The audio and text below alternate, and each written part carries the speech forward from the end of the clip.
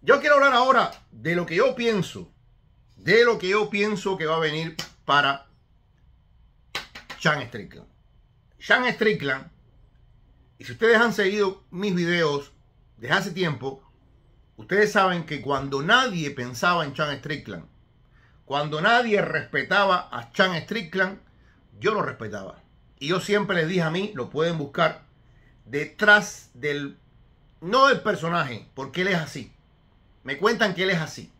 Detrás de la persona, y hay que quitar la diferencia entre persona y personaje. Detrás de la persona se esconde un tremendo peleador. Se esconde un tremendo peleador porque la verdad es que muchos pronósticos, y hay que recordarlos, muchos pronósticos decían que Duplessis iba a pasar por encima de Strickland.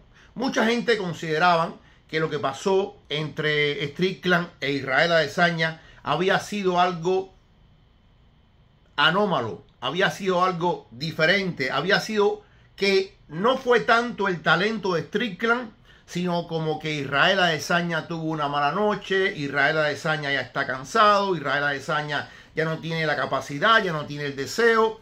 Todo esto se había hablado en la victoria de Strickland sobre Adesanya, pero yo les había dicho, miren lo que hizo contra Nasruddin Imavov, miren lo que hizo contra Abus Magomedov, miren incluso lo que hizo contra eh, el Kila Gorila, que yo les dije, yo vi ganar a Strickland, pero no fue un robo. Aplica lo mismo de Strickland contra Duplessis. Yo vi ganar a Strickland, pero no puedo decir que perjudicaron a Strickland y le dieron una victoria de regalo a Jared Cannonier. Créanme, el gran problema de Strickland, el gran problema de Strickland en esta pelea es que él en los asaltos 2, 3 y 4 bajó la intensidad. Bajó la intensidad y permitió que Duplessis fuera el que llevara la voz cantante. Yo creo que ese es el gran problema. Es verdad que en el quinto levanta un poco. Levanta un poco porque su coach, Eric Nixick, le dice de todo. Le dice hasta alma mía. Le dice hasta el margen que va a morir y le pide un esfuerzo final. Y Strickland trata de entregarlo y de hecho creo que lo entrega.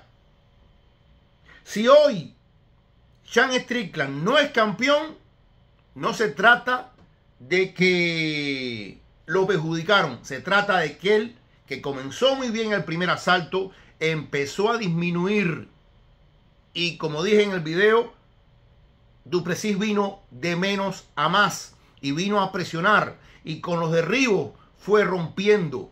Él no permitió que Strickland, que es un peleador de ritmo, como yo les digo, pace fighter, pace, de, seguir un orden, él no permitió que eso sucediera.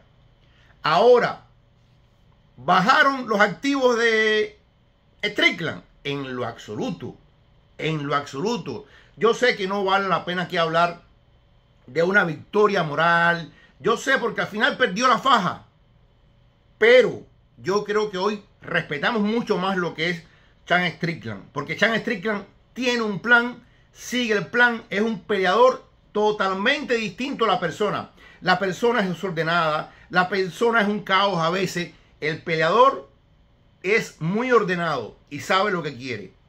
Y siento que el hecho de haber aguantado a un tipo tan fuerte como Duplessis, el hecho de que generó la duda y de que muchos piensen que pudo haber ganado este combate, dice mucho de lo que ha crecido y de lo que ha evolucionado Strickland como peleador. ¿Qué es lo que viene para Strickland? Yo creo que viene un, un descanso que puede ser medianamente largo. Recuerden, Sean Strickland es de esos peleadores que está al pie del cañón cada tres meses. En un mundo donde los campeones cada vez pelean menos, y los peleadores cada vez pelean menos, Strickland es de los que ahí es un reloj, es un reloj, es un reloj peleando. Ha peleado mucho, merece un descanso. Me cuentan que ganó cerca de 2 millones en esta pelea. ¿Eh? Ganó cerca de 2 millones en esta pelea. Y tiene que haber ganado pegado el millón en la pelea anterior. no tiene ahora por qué apurarse. Pero si tú me pones un puñal en el pecho, yo tengo dos opciones para Chan Strickland. Yo les hablé ya de que yo considero que en este caso él merece la revancha inmediata, pero no se la van a dar, porque ya lo dijo el propio Dana White. Yo creo que hay dos opciones para Strickland.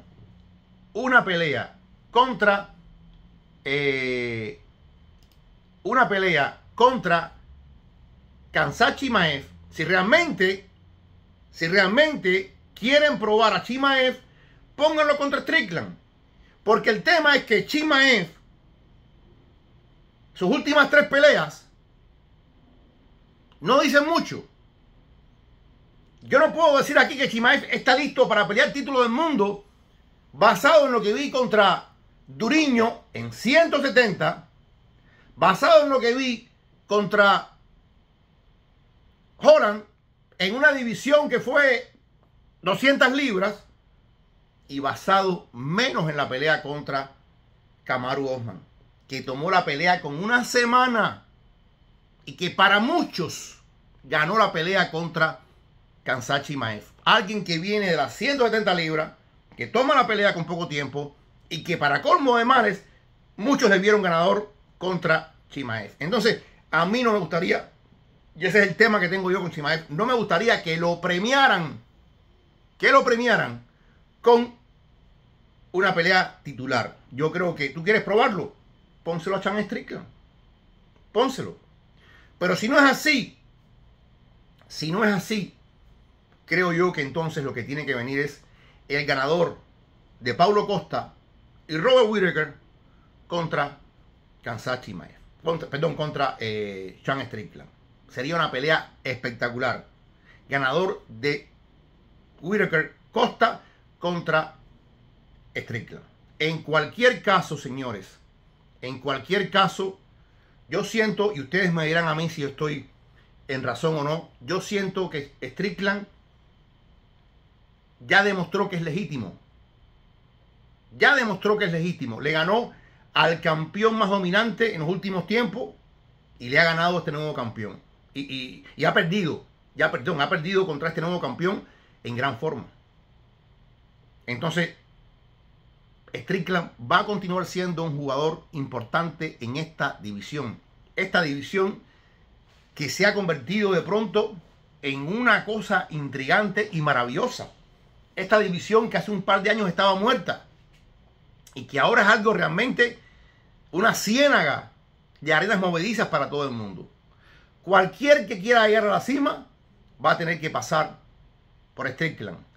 Ya sea ahora alguien como Chimaev, ya sea mañana un Aliskerov, ya sea un Joe Pfeiffer, ya sea un Bonical, ahí va a estar Strickland. Y no como gatekeeper, sino como figura importante para probar a todo el mundo. ¿Quién crees tú que se merece Chan Strickland? ¿Chimaev? ¿Revancha inmediata? ¿O el ganador de Pablo Costa y Robert Whittaker? Dame tu opinión.